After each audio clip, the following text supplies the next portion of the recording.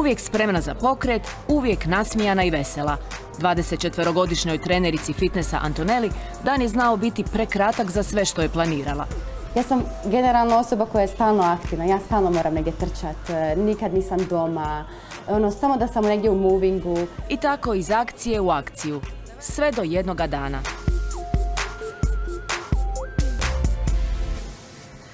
I onda ono jedan dan sam nisam mogla ustati iz kreveta. I onda sam ja mislila kao, ok, to je malo loš dan, ne možeš se ustati iz kreveta. I onda taj dan se pretvorio u drugi dan, treći dan. I tako je to trajalo ono mjesec dana da ja nisam imala volje se ustati.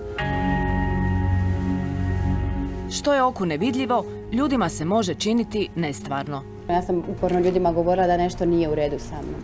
I svi su tvrdili kao, ma to ti je zato što si stalno u movingu, kad se malo smiriš, e, bit će ti bolje. Ja sam rekla, ali nije, kao, znam da nešto nije u redu sa mnom, ono, vidim da se ne osjećam dobro. Potražila je pomoć, dijagnosticirali su joj depresiju.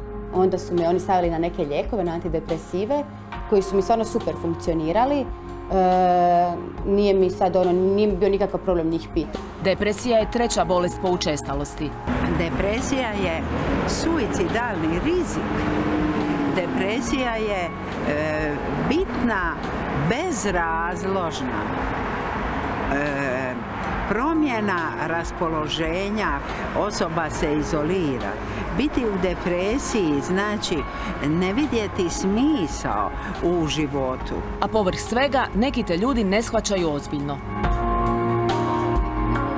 Ja sam čak i ono rekla svojima doma da on suicidalne misli. Onda mi su mi oni rekli, ma dobro, kao, tako to nas ima nekad dođe. Kao, nemoj sad ti to misliti da si ti jedina. I onda si ti misliš, ok, to je normalno. I onda nekako to svaki put stavljaš pod tepih. Odustaješ od aktivnosti, odustaješ od razgovora, ne više nikoga ne, zi, ne zoveš. Kao ono malo si se kao povukao u sebe. I onda se ljudi čak znaju to krivo tumačiti, kao ona se malo ljuti ili tako ona kao više se neće s nama družiti. Ispitajte, možda nije u tome e, stvar.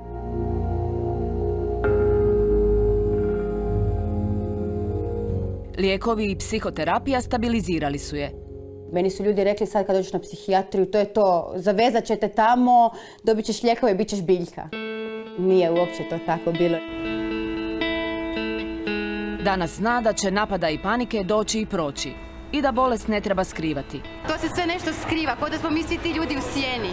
Ono, meni se evo znalo deset sad kad sam bila na Jankomiru, ono, ljudi su se pitali pa šta ti radiš ovdje, ti si lijepa. Ja kažem pa da, ali događa se to i lijepim ljudima, nije to samo, ne znam, ružnim ljudima će se desiti, lijepima se neće desiti. I onda su oni bili isto šokirani, šta ja tamo radim, ja se njima činim svima super. Ali jednostavno, ono, dio mene iznutra je umirao. Stoga je na Instagramu progovorila o depresiji. Bilo mi u glavi, ajde doći će valjda jedna osoba koja ima nešto slično, ono, samo mi jedna treba da mi neko kaže, ej, sve je to normalno, ja imam tih problema i ono, normalno funkcioniram sad u društvu.